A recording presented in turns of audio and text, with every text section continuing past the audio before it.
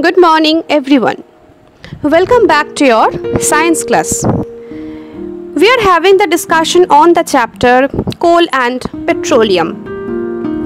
Coal and petroleum we have discussed already in the previous classes.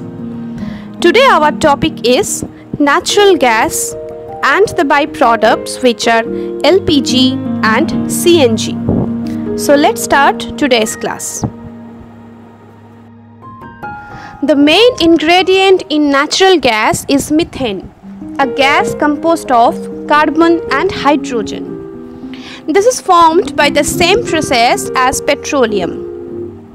Being lighter, natural gas is often found trapped among rocks near the upper layers of a petroleum reservoir.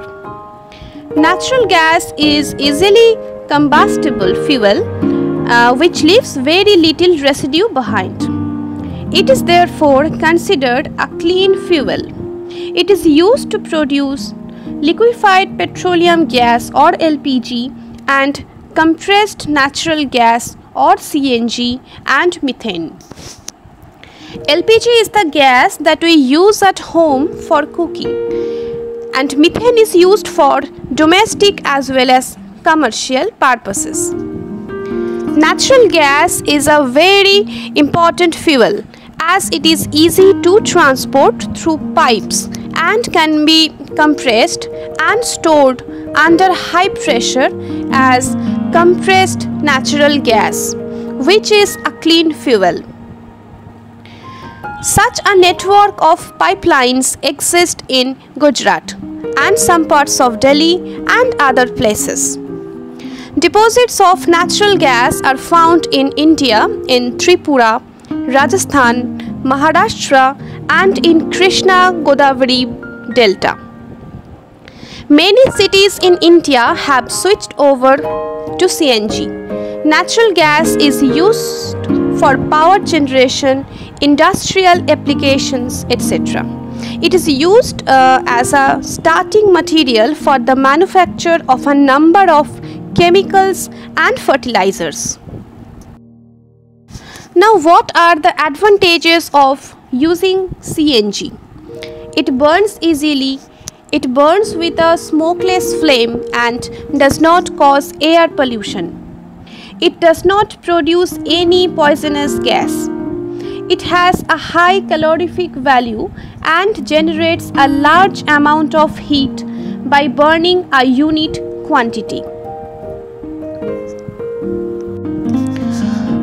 We all know that fossil fuels are limited. Globally, fossil fuels may last another 200 to 250 years. In India, fossil fuels are predicted to last only another 150 years. In this situation, it is best that we conserve energy uh, for our future. We should use fossil fuels only when absolutely necessary because it will ensure its availability for a longer period of time.